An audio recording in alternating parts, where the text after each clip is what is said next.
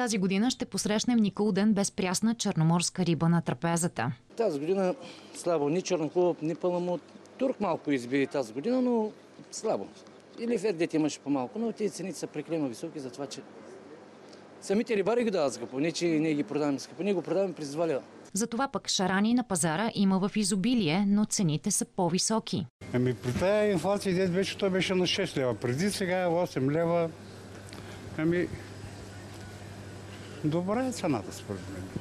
Инспекторите от Агенцията по храните следят най-вече дали рибата се съхранява безопасно. Ти ако си купиш риба и ако ти сложи лед, Изискванията са... съгласна ли си да сложи риба? Знам, но трябва да има лед, не може.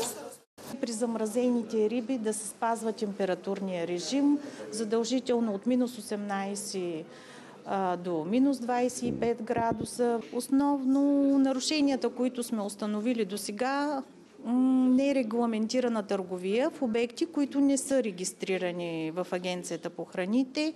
За да гарантира търговецът, че рибата е безопасна, тя трябва да бъде поставена в лед, да е покрита с нежен филм от слуз, очите трябва да са бистри, изпъкнали, а хрилете прибрани към тялото. Проверките ще продължат до 7 декември.